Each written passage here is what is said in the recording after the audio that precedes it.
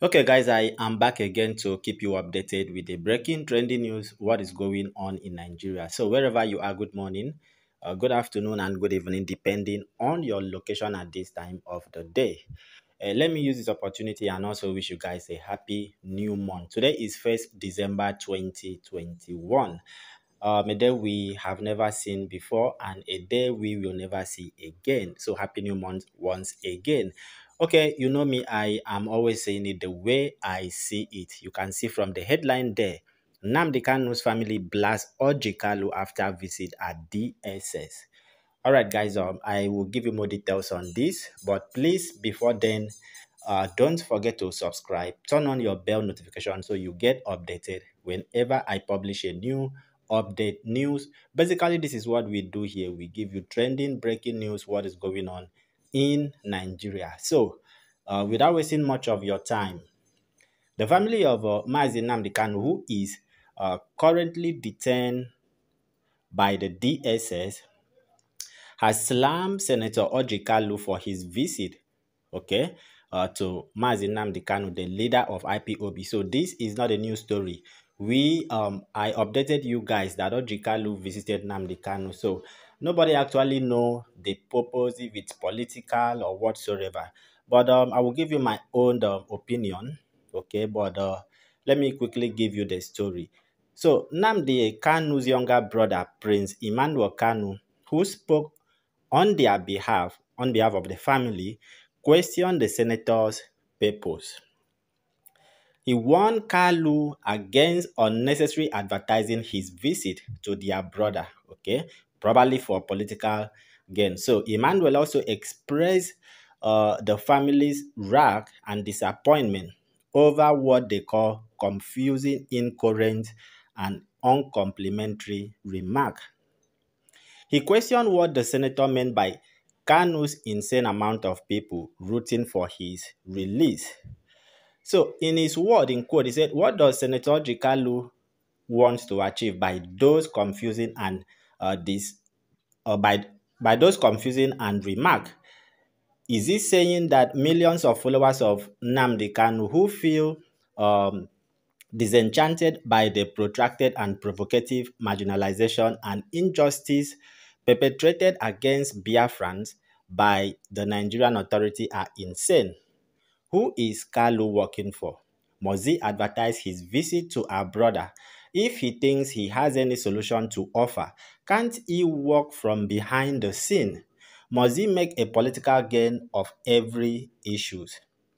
We are highly disappointed by his incoherent utterances.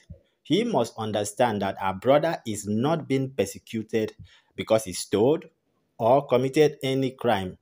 His only crime, if at all it's a crime, is asking for the freedom of the oppressed people of Biafra. Orji Kalu and his type are the reason the agitation for self-determination by our people is unending. How can he be trusted by the people? We have not forget we have not forgotten his role in 2017 when our brother was in Kuje prison. What is his mission?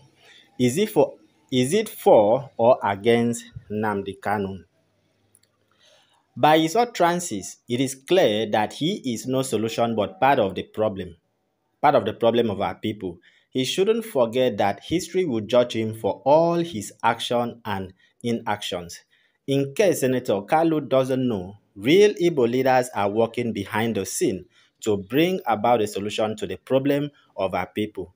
They don't make noise over it.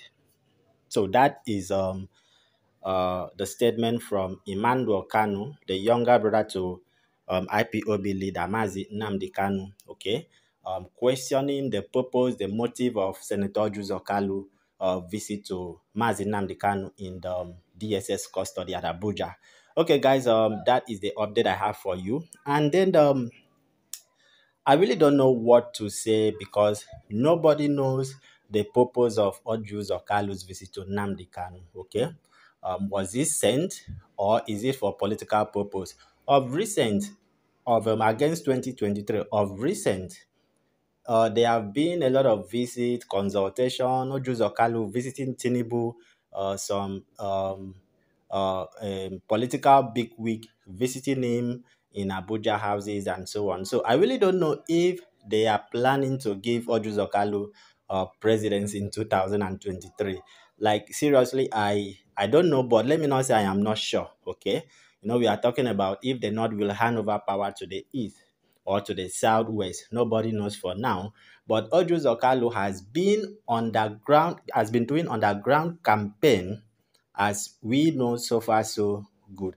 And then um, it could be political, but yet the very big question um, I was thinking about it that if the DSS do not allow people to visit Nnamdi Kanu without court order and so on, how did they allow or why did they allow Uzor Kalu to visit Nnamdi Kanu? I mean, looking at this squarely, it is only the president or a representative.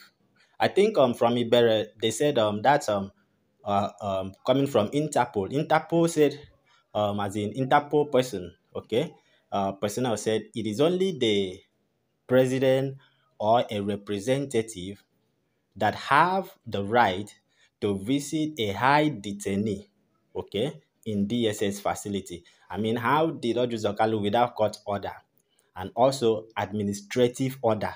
I mean, he broke the protocol, the court order, the administrative order to visit Nnamdi Kanu. Was he sent? That is a very big question. Nobody seems to know. Okay, so this is my own personal opinion, but let me know what you think. Is it political or Orji Uzor Kalu was sent to meet Nnamdi Kanu, maybe for negotiation whatsoever. I really don't know. Okay, but however, let me know what you guys think. See you in another update.